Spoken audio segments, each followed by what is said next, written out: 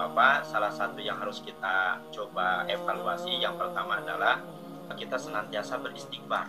Mohon ampun kepada Allah Subhanahu wa taala. Kenapa? Karena kesulitan boleh jadi yang terjadi kepada anak kita.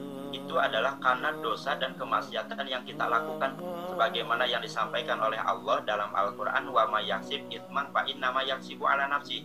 Barang siapa yang berbuat dosa dan kemaksiatan maka sesungguhnya dia sedang mengundang kesulitan untuk dirinya sendiri jadi kalau seandainya anak-anak memang sulit, misalkan susah, ini ada kaitannya satu sama lain di mana mulai dari ketika anak itu belum hadir, ketika di alam eh, di rahim, kemudian ketika dilahirkan, itu peran orang tua itu sangat luar biasa berpengaruh. Sebagaimana tadi disampaikan, ketika masa kekanak-kanakannya itu diisi dengan kebaikan, diisi dengan pendidikan, diajarkan ilmu, diajarkan diajarkan adab oleh orang tuanya, maka insya Allah besarnya maka dia juga akan berkembang menjadi pribadi yang baik. Sehingga kita uh, coba bisa introspeksi mengevaluasi jangan-jangan dulu semenjak kecilnya tidak diajarkan atau tidak dibiasakan tidak dimaksimalkan untuk mengajarkan ilmu agama untuk mendidik kepada pendidikan yang benar yang sesuai dengan apa yang disampaikan oleh Allah dan Rasulnya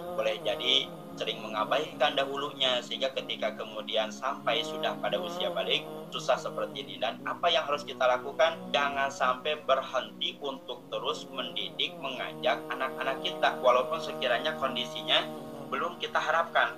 Karena tugas kita mah adalah mengajak, mengingatkan, mengajarkan. Adapun yang memberikan hidayah itu adalah Allah Subhanahu wa taala. Jangankan kita, Rasulullah Shallallahu alaihi wasallam saja itu tidak bisa memberikan hidayah kepada orang yang sekalipun Rasulullah cintai. Pamannya Rasulullah kita tahu itu tamengnya Rasulullah yang membela Rasulullah daripada orang-orang kafir Quraisy yang membantu menyebarkan agama Islam. Tapi ketika pada akhir hayatnya pamannya Nabi Muhammad tidak sempat mengucapkan dua kalimat syahadat. Sampai Rasulullah meneteskan air mata kemudian turun ayat inna kala tahdiman ahbabta walakinnallaha yahdi mayasa sesungguhnya engkau wahai Muhammad engkau tidak akan bisa memberikan hidayah kepada orang yang sekalipun kau cintai walakinnallaha yahdi mayasa tetapi hanya Allah yang bisa memberikan hidayah kepada orang-orang yang Allah kehendaki. Oleh karenanya hidayah itu mutlak milik Allah. Tugas kita mah hanya mengajak, hanya memberitahukan. Begitupun kita sebagai orang tuanya jangan pernah berhenti mengajak dalam kebaikan. Karena kita tidak tahu ajakan yang mana yang sekiranya jadi jalan turunnya hidayah Allah kepada siapa? Kepada anak-anak kita. Hati-hati dengan keyakinan. Kenapa? Karena Allah melihat keyakinan kita.